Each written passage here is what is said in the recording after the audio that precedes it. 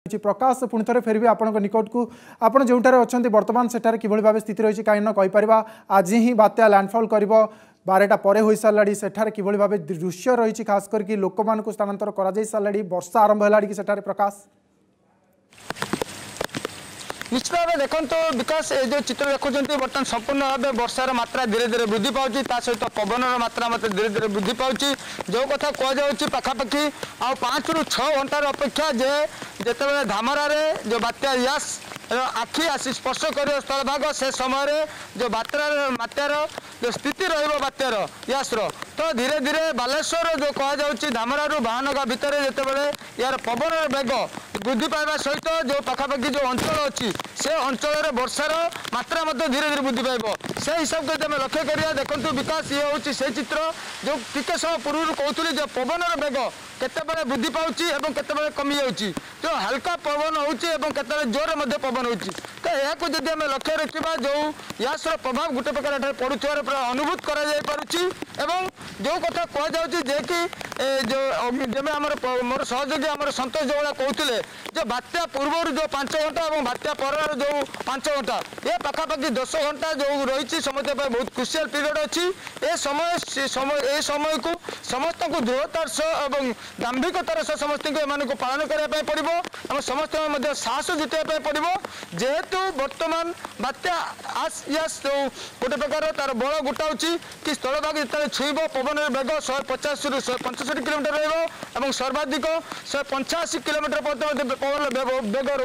ରହିବ ତ ଆମେ ଯଦି କହିବା ମୋର ଯେଉଁ ଜାଗା ଆମେ ଛୁଇଁବା ମୋର ସେଠି ଆମର ମଧ୍ୟ ଅର୍ଗସର ମଧ୍ୟ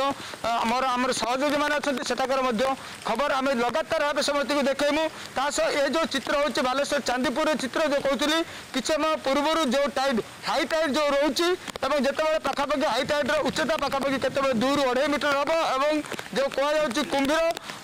ଗଡ଼ି ଯେଉଁ ରହିଛି ସେଠାରେ ପାଖାପାଖି ତିନିରୁ ସାଢ଼େ ତିନି ମିଟର ରହିବ କିନ୍ତୁ ପବନର ବେଗକୁ ଆମେ ଦେଖିବା ପାଖାପାଖି ବାଲେଶ୍ୱର ଯେ যেহেতু ধামরা ও বাহানগাঁ মধ্যে যে ল্যান্ডফল যে রহব এবং যদি গতি বালেশ্বর দিয়ে ময়ূরভঞ্জ এবং যে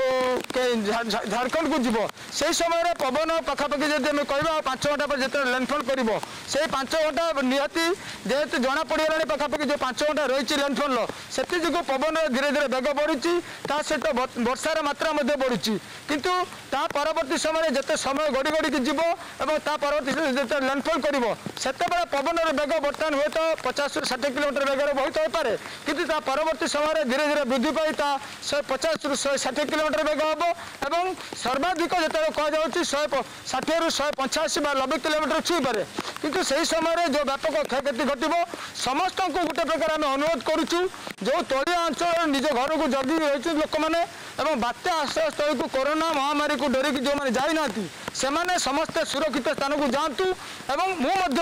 ଆମ ଅର୍ଗସ୍ର ଯେଉଁ ଭାଇମାନେ ଆମର ପ୍ରତିନିଧିମାନେ ଅଛନ୍ତି ବା ସହଯୋଗୀମାନେ ଅଛନ୍ତି ସେମାନଙ୍କୁ ମଧ୍ୟ କହିବି ଏ ପାଖାପାଖି ବାଲେଶ୍ୱର ଭଦ୍ରକ জগৎসিংহপুর এবং কেন্দ্রাপড়া এসব অঞ্চলের যে সহযোগী মানে আমার কাম করছেন সে আমি লগাতার আমি চেষ্টা করবু যে লগাতার যে আমার এই বাত্যা ইয়াসর যে খবর অছি সে খবরকু আমার সমস্ত